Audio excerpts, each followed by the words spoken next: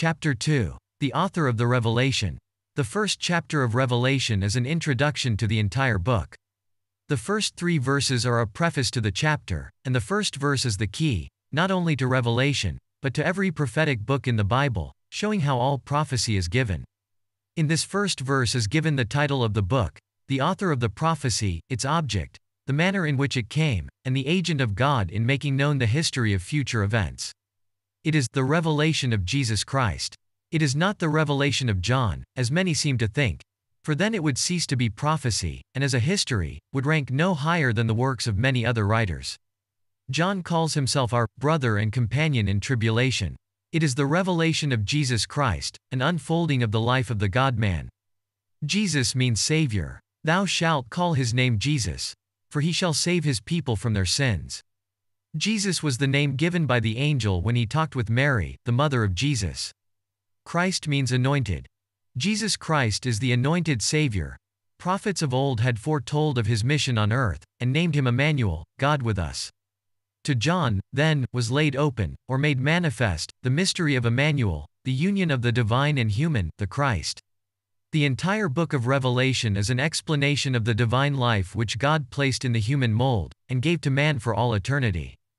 Divinity needed humanity, for it required both the divine and the human to bring salvation to the world. Divinity needed humanity, that humanity might afford a channel of communication between God and man. Humanity was lost without divinity. Salvation came by the union of the two in Christ. The union formed in him will never be severed, for the church to which his teachings gave birth is a child of God, and the history of the church is the history of Emmanuel, the mystery of godliness. Adam was made in the image of God, and was a son of God. But sin severed the tie, and the children of Adam were born in sin. But Christ, the second Adam, was the Son of God, and the Church, the only begotten of Christ, partakes of the nature of the Father, and stands before the world to perpetuate his name, Emmanuel. This family name will never become extinct. I, Paul, bow my knees unto the Father of our Lord Jesus Christ, of whom the whole family in heaven and earth is named. The continued history of Emmanuel, as read in the life of the Christian Church, is what was revealed to John by the angel Gabriel, Christ's attendant, that member of the heavenly host whose duty it has long been to make known the mystery of God to his servants. God desires that man should comprehend the nature of his law and the manner of his working. Near the close of the first century, Gabriel was bidden to open to the prophet on Patmos the signs, or symbols, by which John might understand the history of the work of God in the earth. God reveals himself to man in various ways. Nature is the mirror of divinity. The Word of God is his character in human language. Christ was that Word lived in human form, and the body of Christ the Church has, in addition to these methods, the providences, or leadings, of the Spirit. Thus John, bear record of the Word of God, as written and as lived in Christ, and he bear record also of the testimony of Jesus Christ, which is the spirit of prophecy, and he likewise bare record of the signs which Gabriel presented to his vision, the all things that he saw. A heavenly benediction is pronounced upon him that readeth, and they that hear the words of this prophecy, and upon those who keep those things which are written therein. It must needs be that the things written by John can be understood, else why the blessing that is here pronounced? Since the book is a revelation of Jesus Christ to the servants of the Most High, all who are his servants will study and understand the prophecy. Every doctrine necessary for salvation was given in the revelation of Christ, and the book becomes a compendium of the whole Bible. The blessing pronounced upon the servants to whom it is sent is an eternal blessing. For thou blessest, O Lord, and it shall be blessed forever. John, while on the island, away from the work with which he had been so long and so intimately associated, away from friends and companions, often let his mind wander to the scene of his former labors. As he looked toward the shores of Asia Minor, there came up before him the picture of the companies of believers who were standing for the truth in the midst of pagan darkness. He loved those followers of his Lord, and through him, Christ sent a message to each of the seven churches which are in Asia. The Spirit used each of those churches to represent a period in the history of the work of God on earth, the seven covering the time from the life of John to the closing events in the history of the world. There was a peculiar significance in the location of these seven churches. Asia Minor, or more particularly the western portion of the peninsula to which the term Asia is applied in Revelation chapter 1 verse 4, held in the spread of Christianity, a position corresponding to that which was occupied by Palestine in the history of the Jewish nation. When God wished to make the Hebrew race the leading government of earth, he chose, for the seat of that government, a position unrivaled by any other portion of the globe. Palestine was the highway between the south and the east and between the east and the west. When the power of God passed from this nation to the Christian church, Asia Minor became the center of activity and the base of operation. In those seacoast towns, and in Ephesus above all others, Jew and Gentile met on equal footing.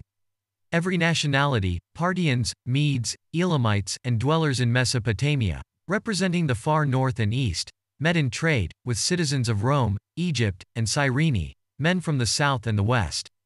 Into these busy marts the Christian faith penetrated, and from these centers, the knowledge of the Christ was spread to all the world.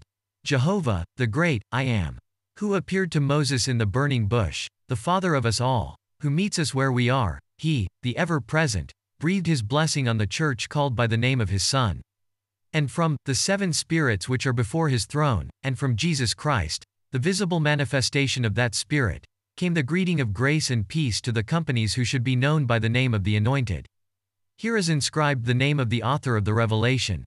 He, who today witnesses for us in the heavenly court, is the faithful witness, the first begotten of the dead, the prince of the kings of the earth, and above all he is the one who loved us, and washed us from our sins in his own blood. He, who on earth was the despised and rejected of men, was in truth the prince of the kings of the earth. Again and again this same Christ had, by his providences, caused men to acknowledge the fact that the Most High ruleth in the kingdom of men. No ruler on earth reigns independent of the Lord of heaven, for all power belongs unto God, and the powers that be are ordained of God. For this reason men are exhorted to pray for governors and kings, that there may be peace in the land. Here is the position to which he calls us. He hath made us kings, to sit on thrones and rule, and priests to minister unto God and his Father. And yet, when on earth, he had said, He that is greatest among you, let him be as he that doth serve. The joint heirs with Christ rule while still on earth, but their authority here is by virtue of the power of an endless life, and they are leaders, not in a physical sense, but in the spiritual realm. The scepter that they sway is not carnal and temporal, but eternal. The position is above earthly potentates, and the wonderful part of it all is, that, in the world, which is in the hands of the prince of evil, Christ has a nation of kings and priests, a kingdom within a kingdom. This is a great mystery, but I speak concerning Christ and the church. The eye of the prophet swept over the company, and as he saw the power of the gospel, in ecstasy he exclaimed, To him be glory and dominion forever and ever. He saw, in one glance, the closing of earth's history, the coming of the Son of Man with power and great glory.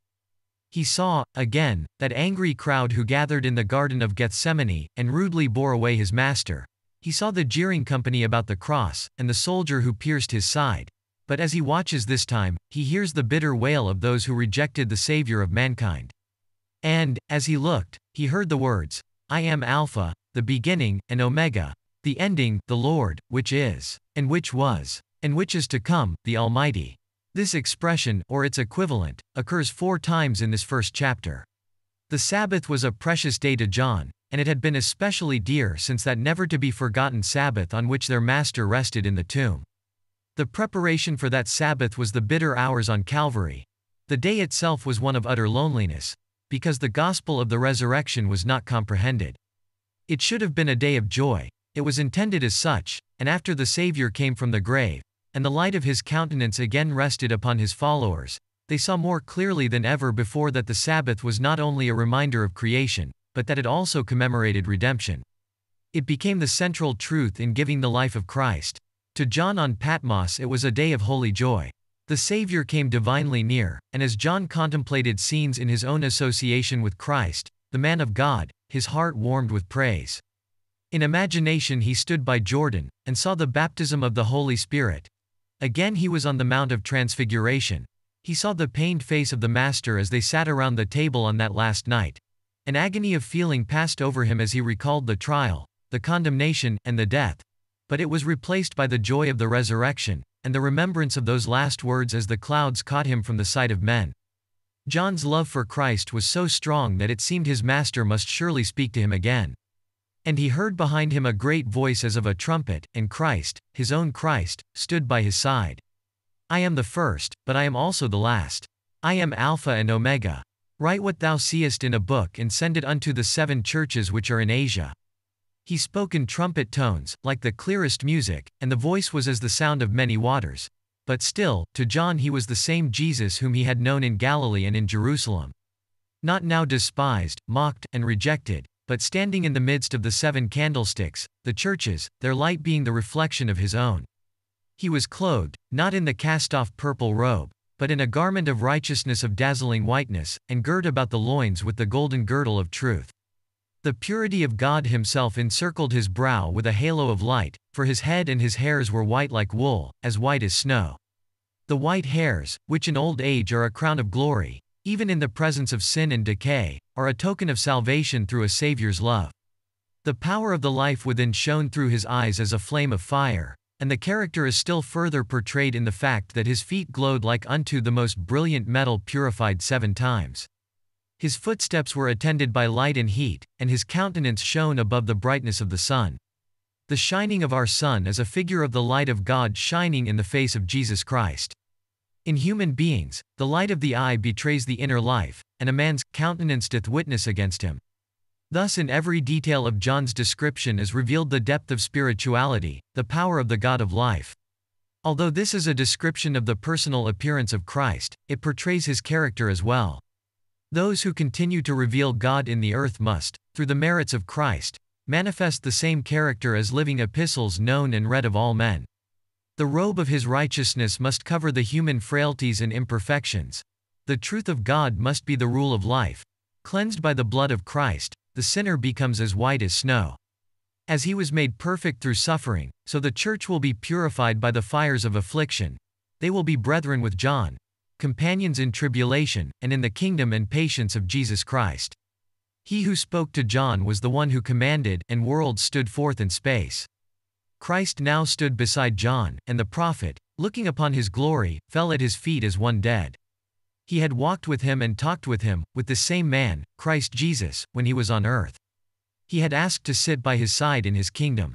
The glory of his presence now overcame John. But Jesus laid his right hand on him, that hand which had so often rested there before, and in a voice which John recognized as the same with which the Master spoke to the stormy waves of Galilee, he said, Be not afraid, I am he that liveth and was dead, and, behold, I am alive forevermore. You saw me in the grave, but I now have the keys of hell and of death. And so the message which John was commanded to give unto the churches is a message of triumph over sin, over death and the grave. It is the victory of truth over error. Christ appeared, walking in the midst of the candlesticks, which symbolize the churches, and he held in his hand the seven stars or angels, which direct the work of the churches, and which are light bearers from his throne to those who represent the work of heaven on earth. God looks upon the Christian church as he looked upon Christ in the days of his sojourn on earth. As he was attended by an angel, so the church is guided by the Spirit of God, and by the testimony of that Spirit. In days of triumph, the angel attendants sing the song which filled the plains of Bethlehem on the night of the birth of Jesus. In days of persecution, trials, and despondency, Angels lift the weary heads, as Gabriel ministered to Christ in the wilderness and in Gethsemane.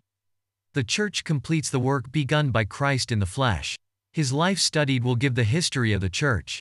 His life as recorded in the revelation of Jesus Christ is but a further unfolding of that same mystery of the Incarnation, the Emmanuel.